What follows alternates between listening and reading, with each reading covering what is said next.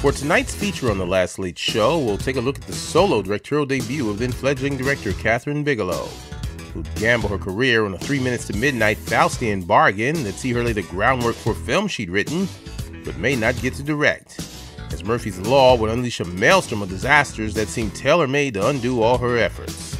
Instead, the film will go on to become a phenomenal cult classic and a cornerstone, the interpretation reimagining of the modern vampire. That's right, tonight we're talking about 1987's Near Dark. And we're going to cover it all from snowstorms to floods to freezing weather to the producer that fell asleep at the wheel, nearly killing them both, and a fit of method acting madness on a lonely stretch of Arizona road that nearly cost the life of a vampire lead. Yep, you are not going to want to miss this because you're going to hear it here only tonight and only on The Last Late Show.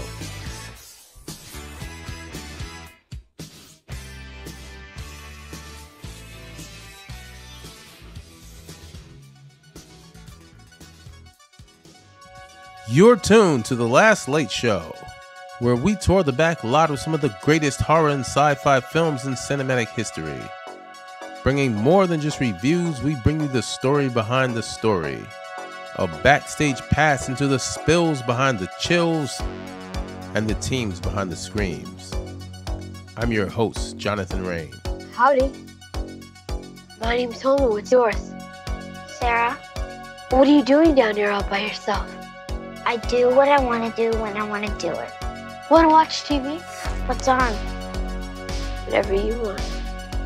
Is it color television? Released October 2nd, 1987, literally in the shadow of the Lost Boys, Near Dark will gross just $635,000 its opening weekend, and $3.4 million during its entire theatrical run, on a production budget of $5 million. Now, despite the financial loss, Bigelow's raw talent and calculated approach would catch Hollywood's attention. With her tale of a nuclear family of Dust Bowl vampires that eke out a meager existence across the plains of Middle America. You know we got a clip. Roll 'em. Well, I sort of saw it as, as families fighting to remain intact. You know, they fight for, and um, fathers fighting for sons. And and also wanting to um, look at these characters who are who I sort of see as modern day gunslingers as feeders as opposed to killers. They're not psychopathic killers killing for the sake of killing. They're victims of a violent act themselves. They didn't ask to become who and what they are. So in that context, um, that nuclear structure, I mean, they're sort of like a pack of wolves, you know, trying to survive and will survive so long as the family unit stays intact. When that implodes, you have anarchy, and and that's what um, ultimately is their undoing. So in a way, it's a very it's very much of a cautionary tale, pleading for the nuclear family.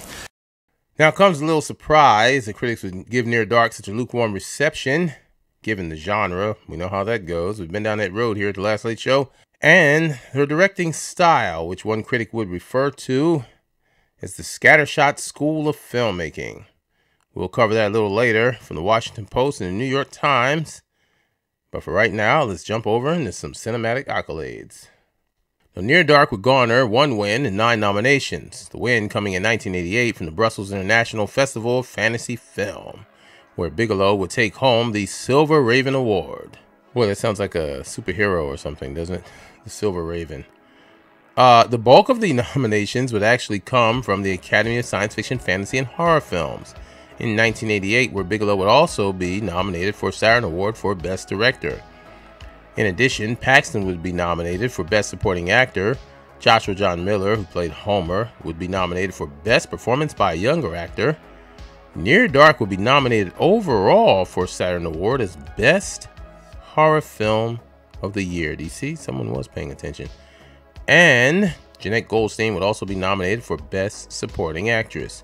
Now, we do have another organization here, the Young Artists Awards. I am not familiar with them. Marcie Leeds, who played Caleb's younger sister, will be nominated for Best Young Actress in a Horror or Mystery Motion Picture. Boy, they just keep inventing these groups and categories, don't they? And Joshua John Miller would also be nominated, on top of that, for, get this, Teenage Favorite in a Horror or Drama Motion Picture. Now, there's one more here. There's the Avoriaz Fantastic Film Festival. Forgive me if I mispron- mispronounced that. Kathryn Bigelow would be nominated for their grand prize, and does not say here what that grand prize was. But isn't it just nice to be nominated for a grand prize? Isn't it just nice? Even if they don't tell you what the grand prize is, it's just nice to be nominated. So there you go. All those wins and nominations would come between 88 and 89. There you go. Kathryn would take home that silver raven. Boy, I'd like to see a picture of what that looks like. Now, Bigelow would begin her career as a painter, believe it or not. A very talented painter, apparently. And she spent two years at San Francisco Art Institute. I'm sure you guys all remember the Art Institute. They used to advertise somewhere between uh, Gomer Pyle, Mayberry RFD, somewhere between uh, about uh, 12 about 12 p.m. to maybe about uh, 2:30 in the afternoon. And she went from the Art Institute all the way to an Oscar. So there's hope. All right, so very talented painter. Kathryn would spend two years at San Francisco Art Institute. At 20, she'd win a scholarship to the Whitney Museum's Independent Study Program. Now, we did learn that Kathryn used to have a studio, as a matter of fact, in an old bank vault in a dilapidated building, an off-track betting place, okay? Abandoned building, and uh, just imagine painting down there at 3 a.m. But uh, yeah, that's where their studio was located, in an old bank vault. Because you needed a bank vault in an off-track betting place. I mean, you know, people like to gamble, and uh, sure they laid down some pretty heavy wagers. But anyway, the bank vault was still there, even though the place was out of business and the building was abandoned. And that's where Bigelow took up uh, residence, and uh, she painted there. Now, later, she'd earned a scholarship to study film at Columbia University, graduating in 1979. I personally had to be somewhere around, oh, eight years old during that time. Now, Kathryn has a famous personal quote and it goes like this If there is specific resistance to women making movies, I choose to ignore that as an obstacle for two reasons. I can't change my gender, and I refuse to stop making movies.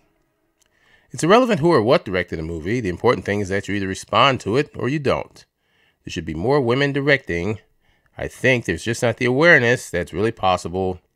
It is. And we'll see. Uh, Kathryn was a absolute trailblazer. Obviously, that quote had to be at least over 30 years old. But uh, I mean, we have what uh, I believe tons of female directors. I think the entire She-Hulk series on Disney.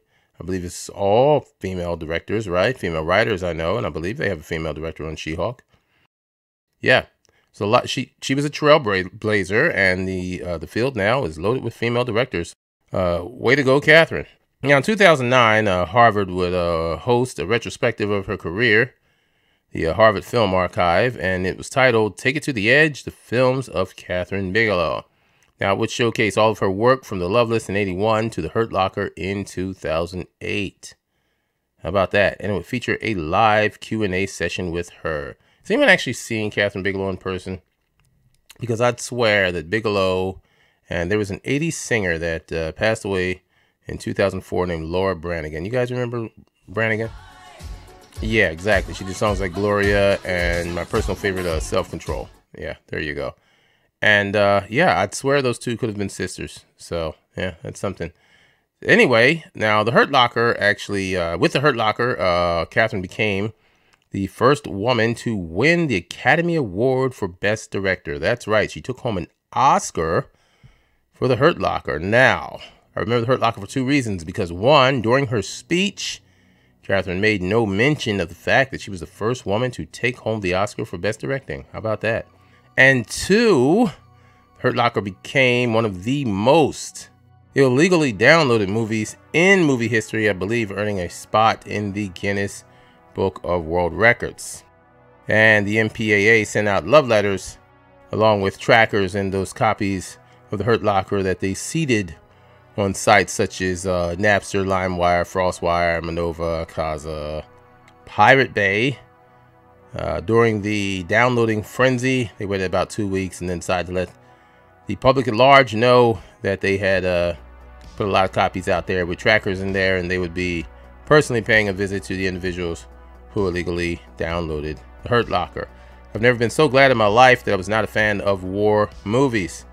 Now, Kathryn would also win Directors Guild of America Award for Outstanding Directing, BAFTA Award for Best Director, and she also became the first woman to win the Saturn Award for Best Director in 1995 for Strange Days, starring Angela Bassett. Wow. Kathryn was definitely on fire that entire decade. Trail Blazer, you women should be proud. There you go. Now, our favorite films A Wild Bunch in 69, Mean Streets in 73, Lawrence of Arabia in 1962, The Terminator in 1984 by ex husband James Cameron, and various collective works of Alfred Hitchcock. I can personally agree with that, owning over 20 of Hitchcock's books and uh, used to love that uh, that Hitchcock series that used to come on TV. Uh, Hitchcock Presents. They put that on in the middle of the night, somewhere between I think 11:30 and 12 at night. I'd watch that all the time. Now, Near Dark would be Kathryn's first solo directing effort. For then, she co-directed The Loveless with Monty Montgomery, starring Willem Dafoe, a tale in which a motorcycle gang, on their way to races in Daytona, stops over in a small southern town and trouble ensues. I'm sure that's a very interesting tale, though I've never seen it. And trouble would ensue, as you can imagine it would when a motorcycle gang stops over in a small southern town. Uh, that's a recipe for disaster right there. I mean, there, there's just there's so many things that could go wrong with that situation, and apparently did because they made a movie out of it. Well, Near Dark was co-written with Eric Red. I'm sure you horror aficionados out there Eric Red needs no introduction. You want to know what happens to an eyeball when it gets punctured? That's right. We're talking about Eric Red of The Hitcher, starring Rutger Hauer, C. Thomas Howell, and Jennifer Jason Leigh. Now, the creation of Near Dark would come as a two-piece. Eric Red and Kathryn Bigelow would get together and decide to write two screenplays on spec, one being Undertow, the other being Near Dark.